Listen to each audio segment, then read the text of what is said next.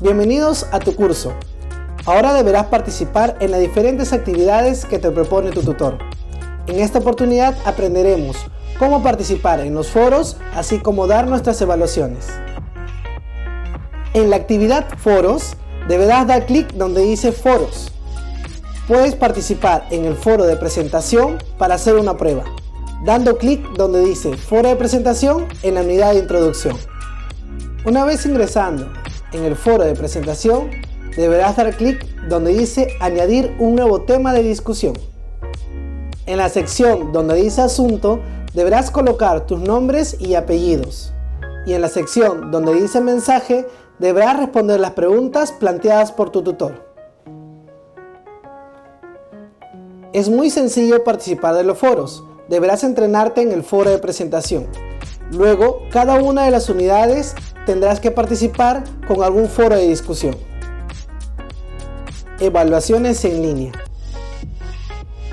Las evaluaciones en línea son cinco preguntas a propuesta de tu tutor para que puedas evaluar tus logros en cada una de las unidades. Podemos practicar en la evaluación de prueba.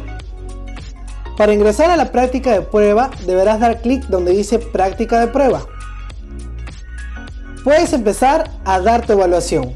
Recuerda seleccionar cada una de las respuestas, sean alternativas o de verdadero y falso, y luego dar clic en comprobar.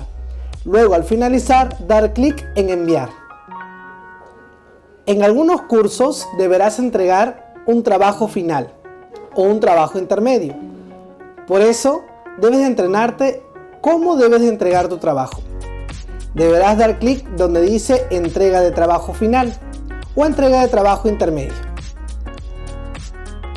Una vez ingresado en la sección entrega de trabajo, deberás leer cada una de las indicaciones de tu tutor.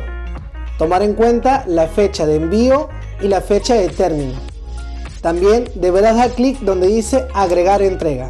Recuerda que solo puedes enviar documentos en Word o en PowerPoint. Muy bien, ya sabemos participar en las tres actividades que tiene tu plataforma virtual. Recuerda tomar en cuenta cada uno de los procedimientos vistos en este video. Nos vemos en un próximo curso.